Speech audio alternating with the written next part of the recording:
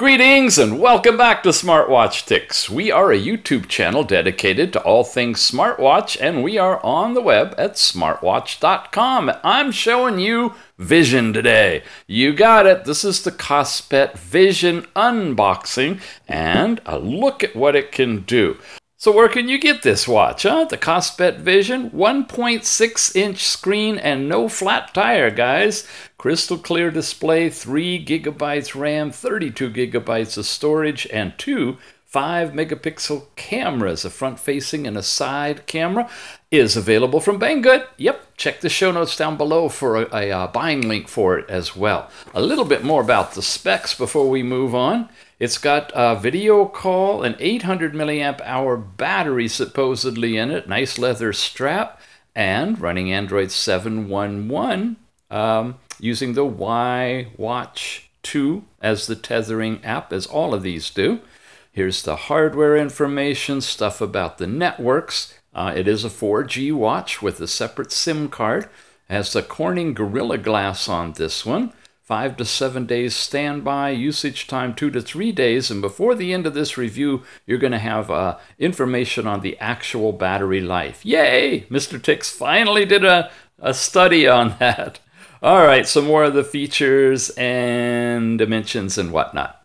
Got a little bedtime story for you as we begin the unboxing long time ago, like the beginning of 2019, now that these years feel like decades, we had uh, a, a, really interesting uh, United States American pilot who is working over in Shenzhen, China, and interested in smartwatches to um, get going with designing what he considered his favorite smartwatch.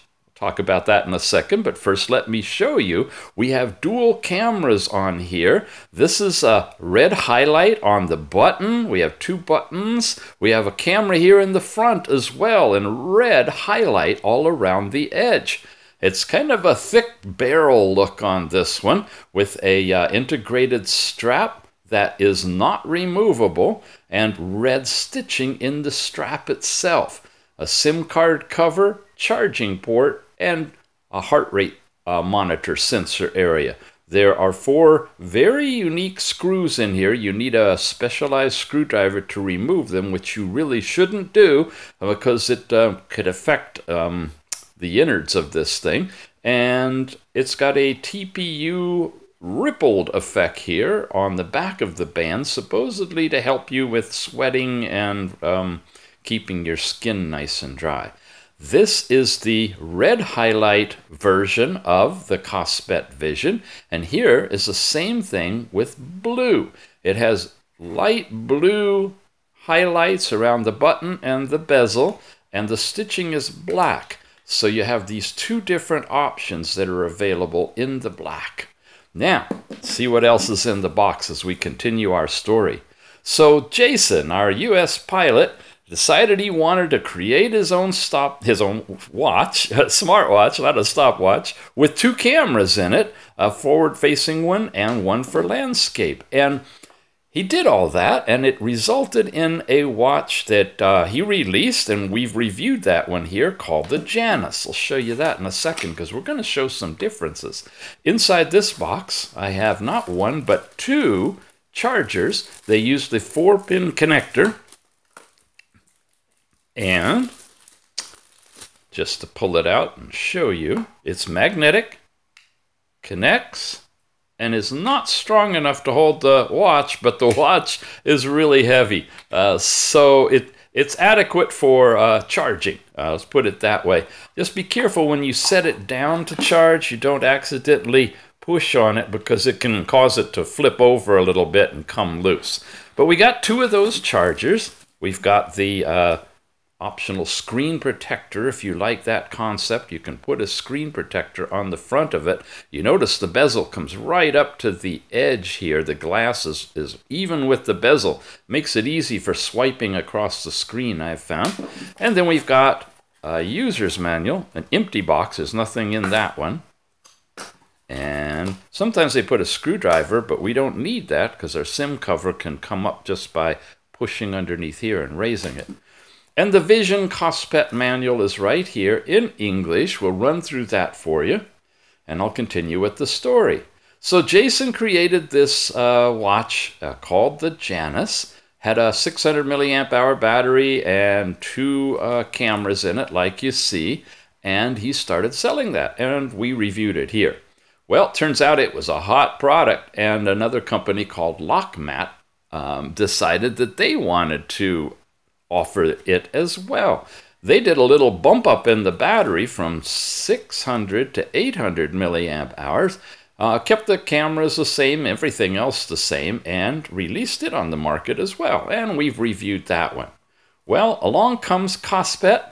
They liked it as well. They picked up the overall basic design but changed the case. Supposedly an 800 milliamp hour battery in here as well. And I say supposedly on the battery because later I'm going to show you some information that makes you go, hmm, exactly. Um, and they've released it as the Vision. So the vision we're looking at here originated as a vision by a pilot from the U.S. stationed over in uh, in Shenzhen, China, and uh, created the old, I call it, or original Janus. This is the first one that he released, and it's pretty much identical. Front-facing camera, side cameras, buttons. You notice the case has got a little bit more definition to it in how it's laid out. Rectangular window. Uh, this has got a couple of little bumps there. Um, and it's got a tapered bezel coming up to the glass right here, whereas this one's flat. And we're pretty sure that's why you can get an 800 milliamp hour battery in this new one, and it's a little bit less space over here. So they had to straighten out these corners and adjust a little bit to get the um, the battery to fit. Then came along the, uh, the upgrade, the newer version of the Janus, and you see its case is a little bit thicker right here. See that little extra space to put the 800 milliamp hour battery, but a slight taper. And the Kospet one uh, eliminated that completely. and just comes up to a rectangular edge right there. So depending on which style you like, they're basically identical 99% of the way. Um, is the one that you might be interested in. So in addition to the Janus, the original and the newer one, then I mentioned the Lokmat came out with the X360 and supposedly 800 milliamp battery, but exactly the same design as the old one. And these two measure identical all across the board. So my guess is there may have been a bit of a fudge on calling this one a bigger battery because I'm pretty sure it's exactly the same release as the original Janus. All right, you got the history, we've got the watch. Let's uh, turn it on and run it through its paces.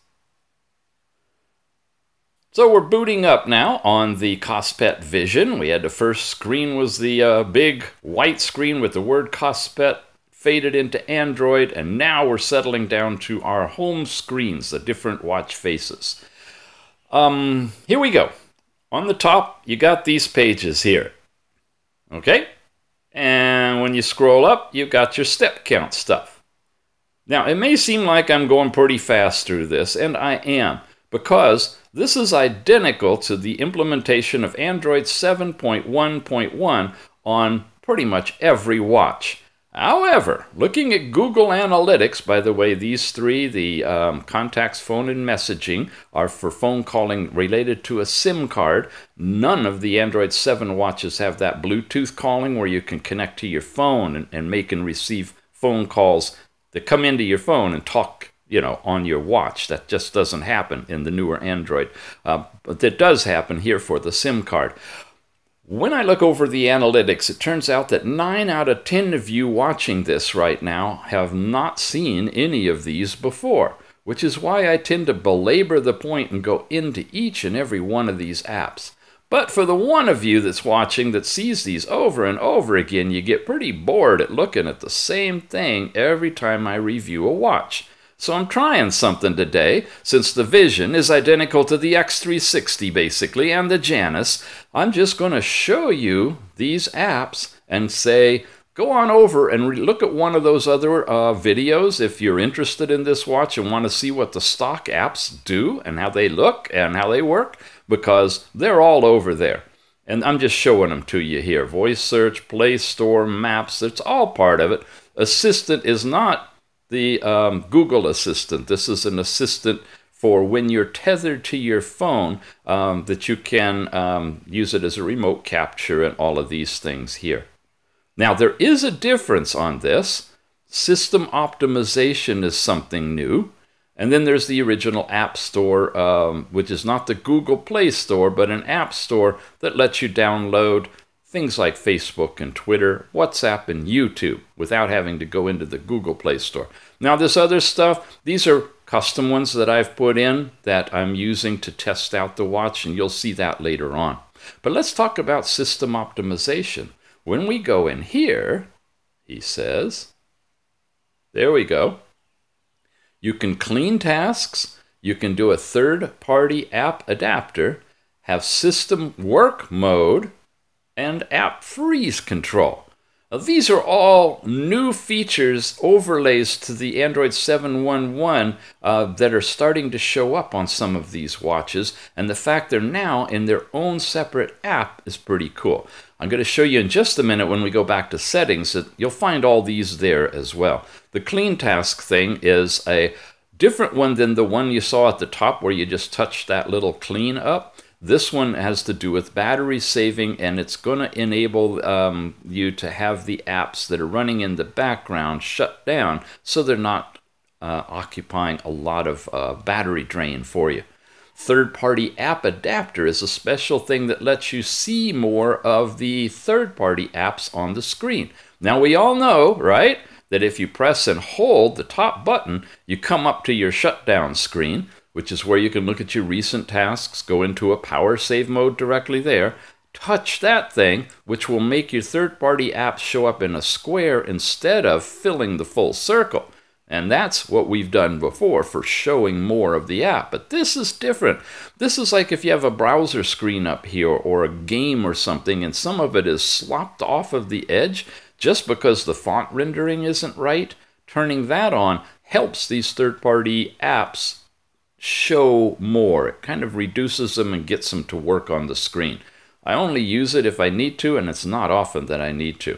Now, this is a big one, and um, we're going to come back to that after I talk about app freeze. Okay, this doesn't mean putting your watch in the freezer when it gets too hot on your arm. It's about the apps. And again, a frozen app is going to be hidden and not running in the background. And um, it's going to basically uh, put it into a frozen or suspended animation kind of a mode, and you can freeze and defreeze specific apps. If you go to next, you'll get the list of apps, and you can go through and do all of that kind of stuff. These are the portfolio of apps that I've got installed as um, additional apps from the Google Play Store or side loaded from my hard drive. So, system work mode. We saw this earlier on a watch and it's now starting to show up on a lot of them. This is a big difference between this version of the Janus and X360, the Vision. It's, it's got this capability and the others do not. So if you're looking for something to discriminate on which one you would buy, for whether it's price or slight change in the body, this could be one of the factors. We have normal mode and performance. Now, when you select performance mode and say OK, it's going to tell you that the thing may get kind of hot. It's good for playing games and watching videos, but the watch may get warm. And that's kind of a forewarning that you may not get the performance boost you're expecting because when it gets hot, it also slows it down because inside the circuitry will uh, dumb down the clock rate to make sure the battery doesn't overheat. So it's a dance that you're going to have to learn based on your own usage patterns with the watch. It also is going to drain down the battery for you. So I tend to run in normal, switching back is okay. So those are all new in a special thing called system optimization. If I go back up here to settings, now you new folks that are just wanting to see what the apps do and stuff, I know I'm way too deep for you right now. Um, but integrate this with what you see in the basic stuff on the uh, other reviews of the similar watches, and you'll have a full picture. So we've got all of this kind of stuff that we've seen before. And again, this is covered in those other reviews until you get down here to more. And when I go into more, this is where we get all that stuff. You got your Google accounts and stuff and Google Play services, the background cleaner, third party app adapter, system work mode, and app freeze. There they all are. And these are exactly the same uh, things we just saw. Then you got access to uh, your storage. It shows you how much internal storage you've got and your overall RAM and how much you're using. And again, we've seen all that stuff too. Overall app settings and data saver. So um, this is all part of the overall settings and we usually do this just so you can check your watch when you get it and look at the version. It's the Kospet Vision, Android 711, and then the kernel and build number, those dates that are buried in here tell you the most uh, recent revision to the operating system, the firmware in here. And if you want to check to make sure there's an update, and you really should, after you connect to Wi Fi, make sure you go in to settings to about this watch and touch on wireless update and it'll go out there, hit the network, check and see if there's a new update waiting for you. It'll download it, otherwise, it'll say it's the latest version, and you can bail out of that. You could do that periodically because it typically doesn't uh, give you a warning, a notice that you have a new version waiting. In terms of installed watch faces on the Vision, you've got these, and I guess a lot of you guys by now are seeing that there's a little black bar at the bottom. That's a flat tire, they call it, and it's uh, indicative of the actual screen technology. It's on all of these watches that we just uh, talked about and showed you, uh, but they've done a nice job of giving you some selection of watch faces that make it mm, kind of disappear. It's not as obvious. Um, this one's going to definitely show up there, but it kind of makes this whole thing look like a white stripe, right? So eh, it's it's a real showstopper for some folks. For so others, uh, like me, I get used to it. Um, I don't see it after a while unless somebody says, "Hey, what's wrong with your watch?" Now this would be really bad if the six were cut in half, but it's not. So it works. Yeah, I know it doesn't really work. All right, but if you can live with it, um, that's okay. If you can't, then this is not the watch for you, and you can move along. These are pretty much the stock uh, watch faces in the Vision. Um, and then I get into some um, specialized faces that I've put in here too. And, oh no, we still got the stock ones. Okay, this is a weird one. I really have trouble understanding this one.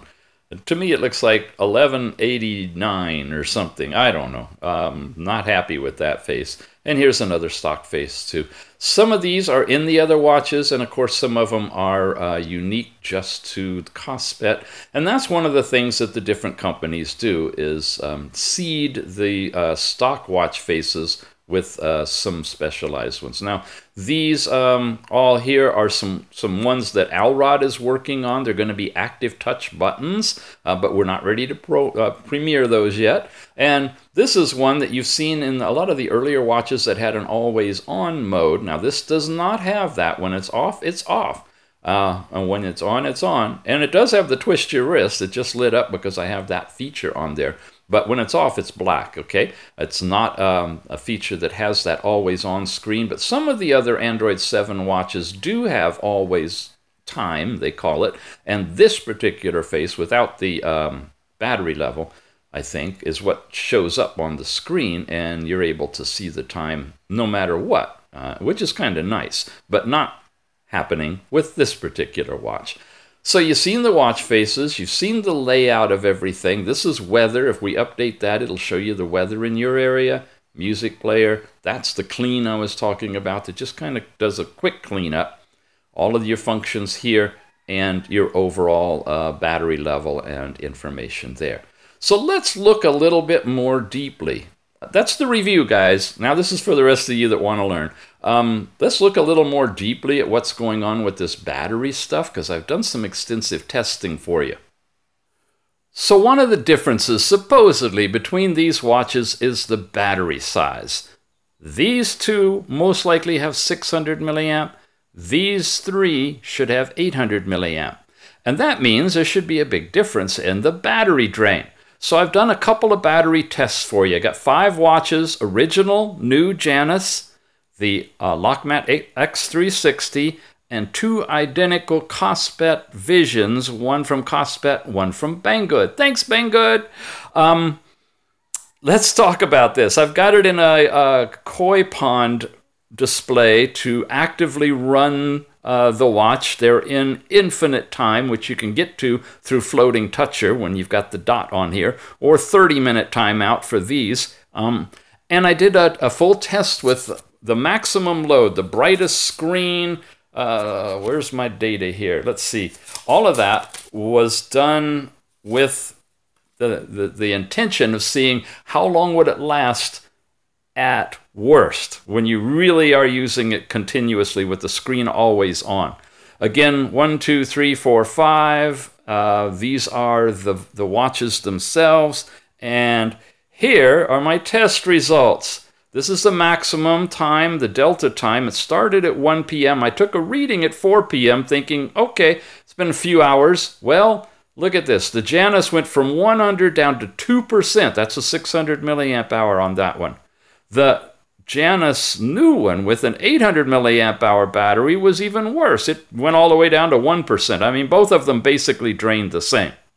Then the Lokmat uh, X360, which is supposedly six or 800, we're not sure, got a question mark. They advertised it as eight, but we looked at the casing and it's the same size. I don't know.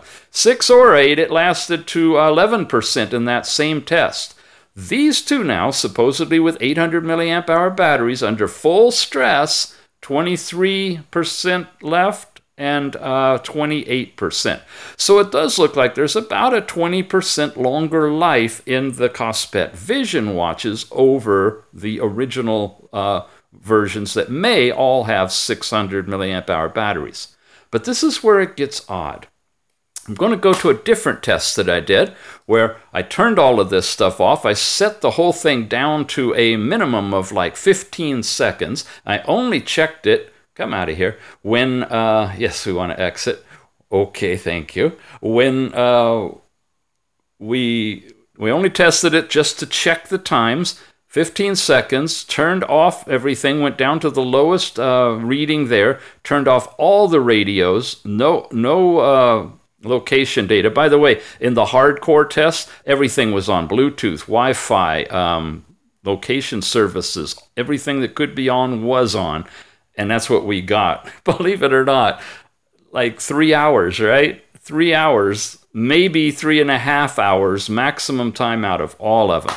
But it's a lot better if you use it in, uh, in a standby mode, and that's what I'm about to show you here. This would be your best case when you're just basically using it as a watch. That's about it, with nothing else on. No radios, no stressing it whatsoever. And here is the data. Once again, we're looking at one and two is the Janus, the Lokmat number three, and the two Visions. So they're across the top. Here's when it started. Here is the elapsed time. So obviously after an hour, it just dropped a couple of percent. Eight hours, 11 hours, it was looking like this. Then the next day, dropping it down to three days, right? 12, 24, 36, 36 hours is three days later. I'm at about half, except for this one. This is the uh, Banggood provided. If I got these backwards, I do. Sorry. This is the um, yeah, the Banggood provided one with the red one uh, dropped down to 20% for some reason. Overheating, I'm not sure. But look at look at how the numbers fell. Uh, this was the one directly from Kospet Uh, and I, they're supposedly identical, so I don't know. How much might be just luck of the draw. It dropped down to 40%. By the time we got the next morning at 45 hours, this one was dead and dead from then on. But the other ones were holding out and when you look at this, the original Janus with a 600 milliamp hour battery and the Lokmat, which is probably the same, are at 38%, almost 40%, while the hottest, newest ones with the best battery have dropped down to 20%, half of that, or all the way out to zero. What's going on? Bigger batteries, less time. Lower batteries, better time. And I haven't shown it here, but I have in the other videos. These two have a screaming uh, Antutu score in the 30,000s. All of these three are in the 20,000s. So these two, the original uh, Janus and the X360, have much faster Antutu scores, which should mean higher battery usage. Yet, look at this. After 56 hours, after 60 hours, I still had 10% on the original one and 13% here. This one, the new Janus, had dropped down to 2, so it, it's good for 60 hours, and these guys are long gone, long gone. Uh, 56 hours, it was just about to die on this one. So the battery tests are still leaving us confused. I don't understand it. It looks like it's better to have a 600 milliamp hour battery if you're going to use it lightly to moderately Uh, but if you're going to load it down to capacity, you're going to squeeze an extra 20% out of it by having the bigger battery.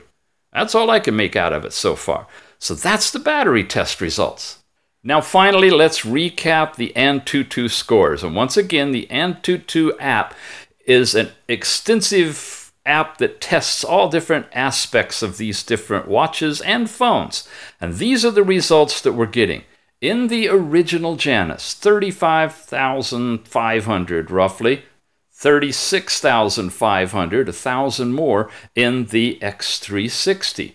Both of these are screaming faster than the upgraded new Janus with the 800 milliamp hour battery. That has 600, remember? This one may be 6 or 8, but it looks like it's 6 because the case designs are identical but they promote it as being 800, but there's no way we've been able to tell for sure.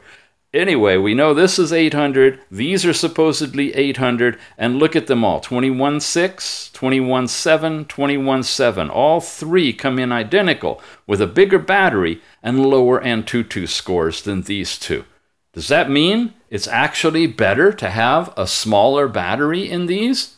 It might. Honestly, it might because the battery being matched to the processor and the case and everything else could feasibly result in overall better performance. Why would these be significantly lower? No idea. Heating of the battery? Um, if any of you guys know, please have a discussion about it down in the comments because it doesn't make sense to me at all. I don't see any differences in the setups.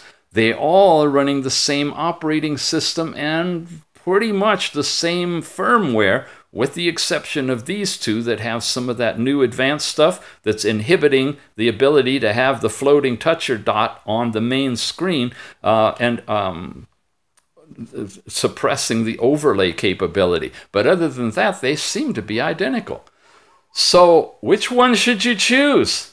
Well, I don't know. If you want a front facing camera and side facing camera, these are the choices out here. There is the older, smaller Thor 4 Dual, and there's a brand new Kospet one coming up called the Prime that is going to have two cameras, both on the side, one forward and one out to the side. And yeah, Jason is working on uh, his own modification and update to this as well. So we're looking forward to yet another dual camera kind of a watch coming out soon.